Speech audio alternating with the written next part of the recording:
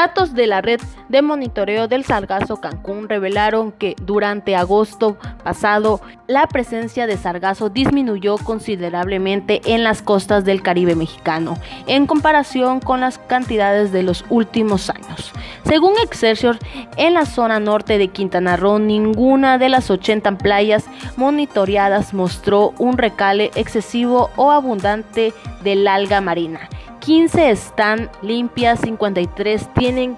una presencia muy baja de la macroalga y solo 12 tienen presencia moderada. De acuerdo con el reporte mensual de la Universidad del Sur de Florida que realiza en colaboración de la NASA, muestra una disminución de la macroalga en el océano del 50% de julio a agosto